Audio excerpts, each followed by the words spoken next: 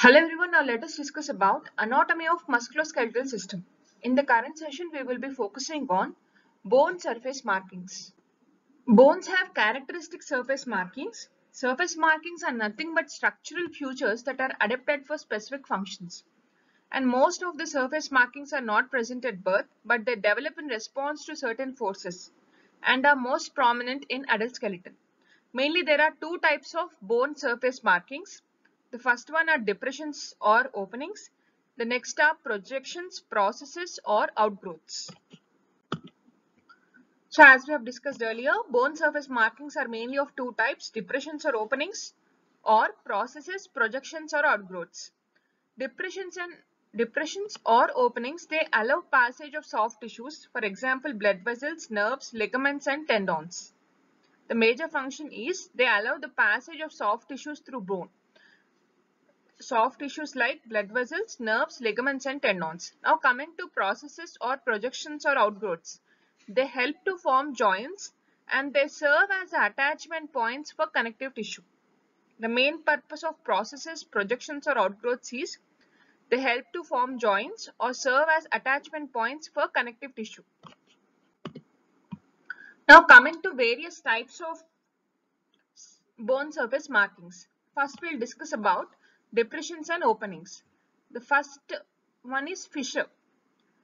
Fissure is nothing but a narrow slit between adjacent parts of bone through which blood vessels pass. Fissure is a narrow slit between adjacent parts of bones through which blood vessels pass. Example are superior orbital fissure of sphenoid bone. Next is foramen. Foramen is an opening through which blood vessels, nerves or ligaments pass. Foramen is an opening whereas fissure is a narrow slit. Example of foramen is optic foramen of sphenoid bone. Next is fossa. What is fossa? Fossa is a shallow depression. Example is coronoid fossa uh, of humerus. Next is sulcus. What is sulcus? A furrow along bone surface that accommodates blood vessels, nerves or tendons. Sulcus is a furrow along bone surface that accommodates blood vessels, nerves or tendons. Example of sulcus is sulcus is uh, intertubercular sulcus of humerus. Next is meatus. It is a tube-like opening. Example is external auditory meatus of temporal bone. Now coming to processes, projections or outgrowths. First we'll discuss about processes that form joint. The first type of process is condyle. Condyle is nothing but large round protuberance with a smooth art articular surface at the end of the bone. Example is lateral condyle of femur. The next is facet. It is a smooth, flat, slightly concave or convex articular surface. Example is superior articular facet of vertebra. The next is head.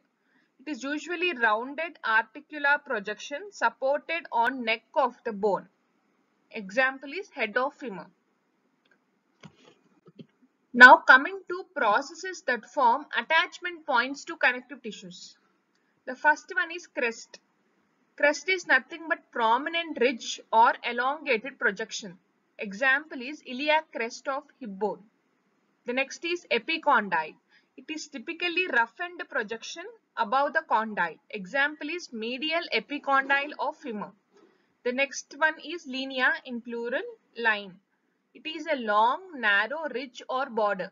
Example is linea aspera of femur.